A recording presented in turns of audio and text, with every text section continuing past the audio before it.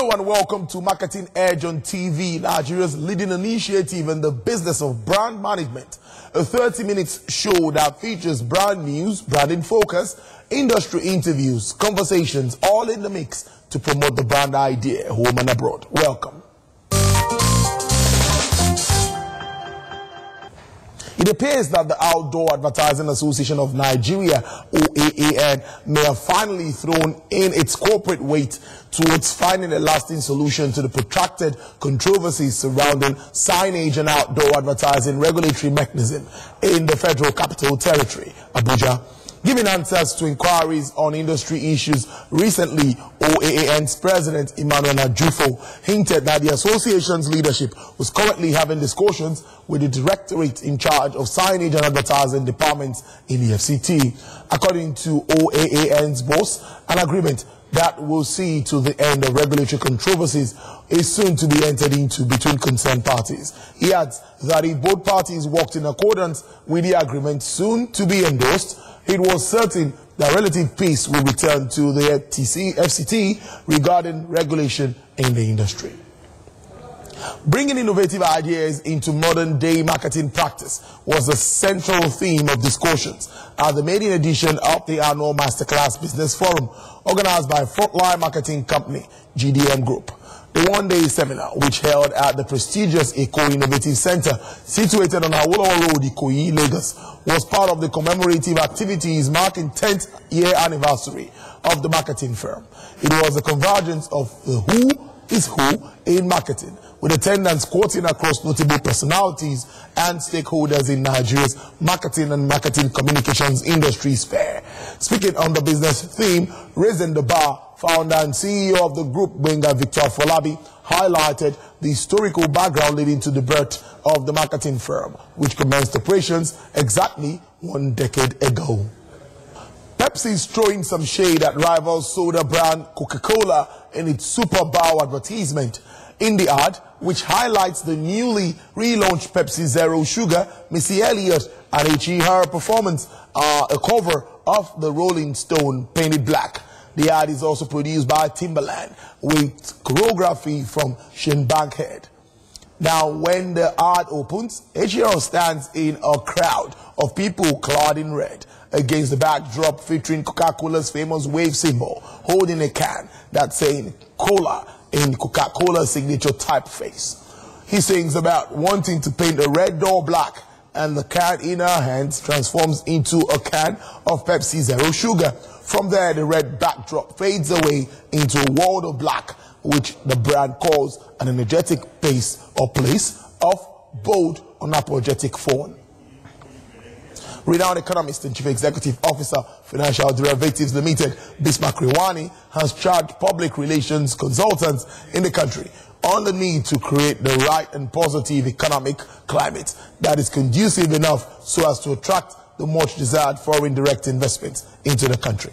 Addressing participants at a one-day business enlightenment forum recently organized by the Public Relations Consultants of Nigeria, Rewane observed that in order to attract FDIs into the country, PR consultants needed to position themselves all right uh, through creating positive economic climate capable of attracting investors. Seriwani adds that uh, government and other relevant agencies also need to create a more conducive environment that will attract FDIs into the country.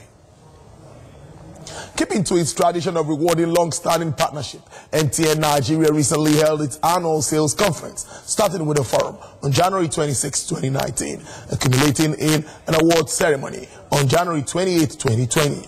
Now, the award ceremony, which took place in Lagos, played host to MTN's business partners from across Nigeria as well as top executives of the company.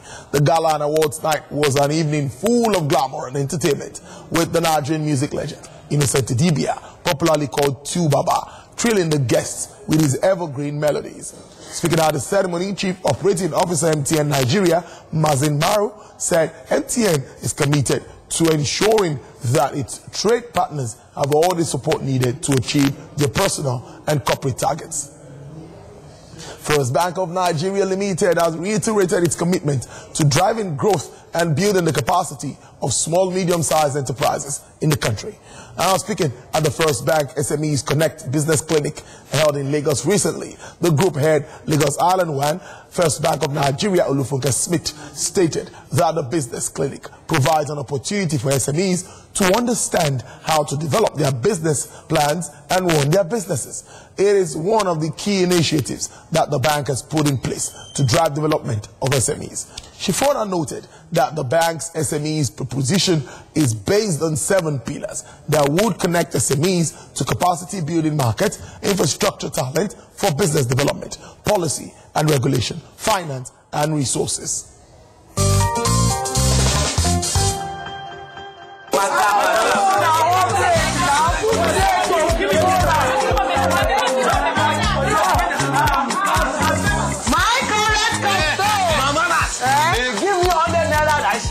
and uh, add eight eight eight join am. Eh? Eh, yes. Oto Oto. Eh? Yes. Ah. Eh. Which time I go mago be this now? Not be the same money when everybody dey pay this money. They no use code. Which code? oh boy, no no get for market o. To get better o, eight eight eight im be the code o. Abi? Yes o, anytime you recharge with star eight eight eight star pin hash, MTN go sama you with five times your recharge. Make you take turn up better awoof. Well, I bet slap me you take it.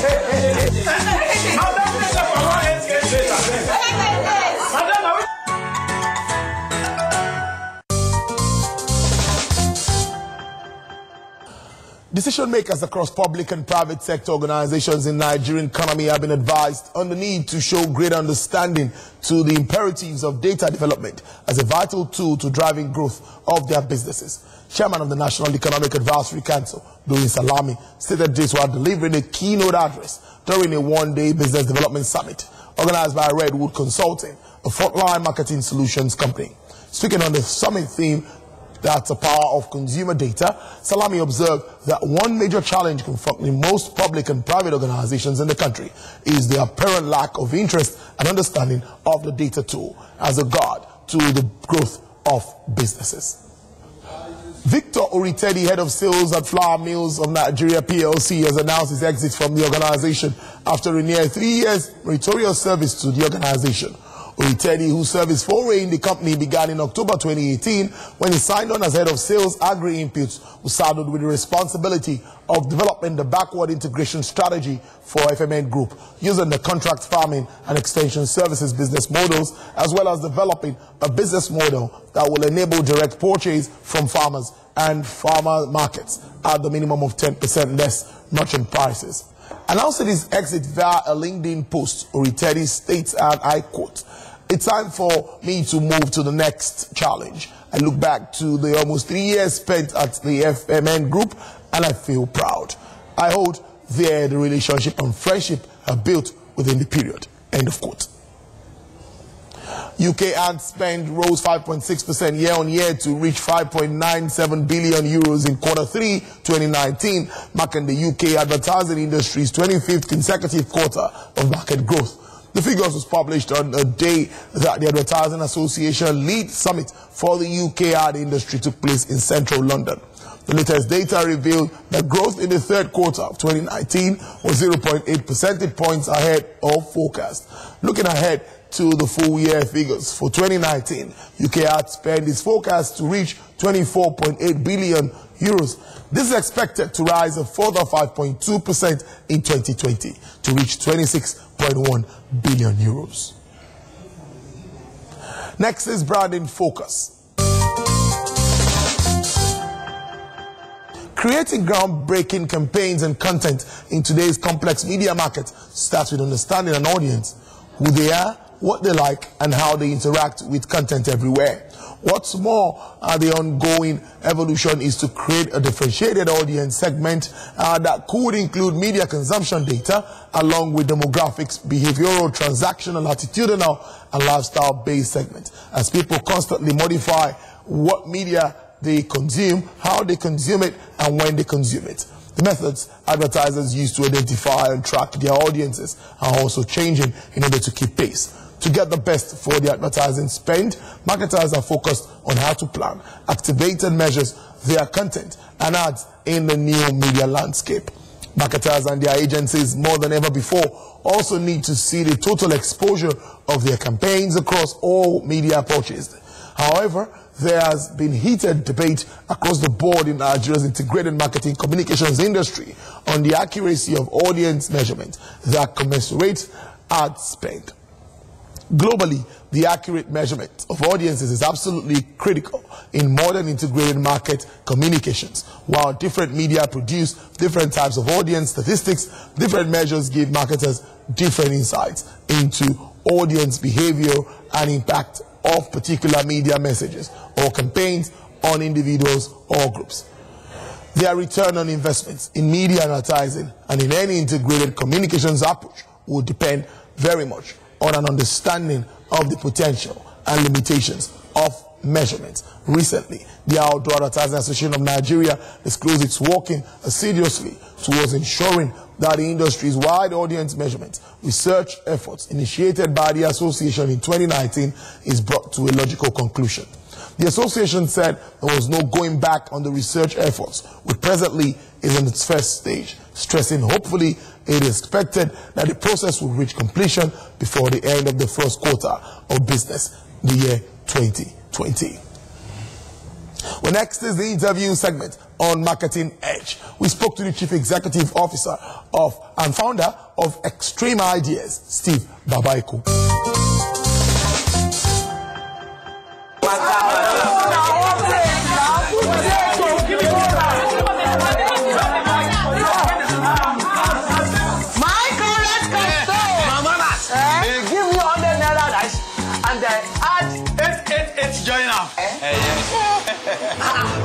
On top. Yes. Which kind of magomago be this now? Not be the same hundred when everybody dey pay this money. They no use code. Which code? oh boy, no no get for market. To get better o, 888 na im be the code o.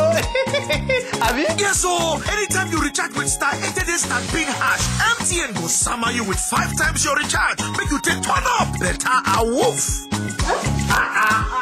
Well, I bet slap me you take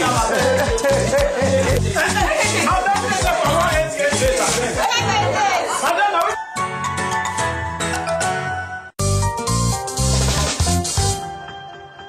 All right, welcome to the interview segment of Marketing Edge on TV. Today I have a special guest. He is Mr. Steve Babaeko. He's the Chief Executive Officer of X3M Ideas Limited. It's a pleasure having you on the show. Thank you very much for your time. Thank you. Uh, uh, I'm going to start with the creative business. How would you assess it in Nigeria at this time? Well, it's it's uh, a mixed bag of the bittersweet and the ugly. I'll start with maybe the sweet. The sweet is that uh, I think this is the moment in my lifetime where I see many young people uh, dabble into that creative entrepreneurship space, and because of the whole expansion of the digital age and the digital platform, a lot of people who have latent uh, creative talents are able to jump on the platform and express themselves, and in that same, by the same token, also do business. Okay, that's the sweet part. The bitter part is that it's becoming like a what fight now because I mean lack of regulation. We really don't know who is in charge of what. Who I mean a whole lot of lowering of the bar, so anybody can just pick up and do anything, especially as it affects the advertising industry. So that's the bad, and it's even compounded by the lack of um, a council for APCON over the past four, going on five years now. So regulation has been weakened in that space, and uh, it makes it really ugly. So, but by and large, I still think it's an interesting time, a huge opportunity there for young people who really, really want to dabble into that space and, and make a living out of it. So one way or the other, there have been some achievements in that sector. Absolutely, absolutely. I mean, Can we identify some of them? I mean, if you uh, if you're a big fan of uh, some of the online comedians like I am, you see that it's a huge, huge thing going on there from the Taaoomas to the Woli Agbas to the Woli Arole to the Brother Shaggy to Lasisi Elenu. I mean, there's massive explosion of talent. And you can see that beyond even the comedy, it's just the ability of people to write and express uh, concept and be able to push the idea of a story from beginning to the end in, in such an engaging way. And don't forget that there's just very little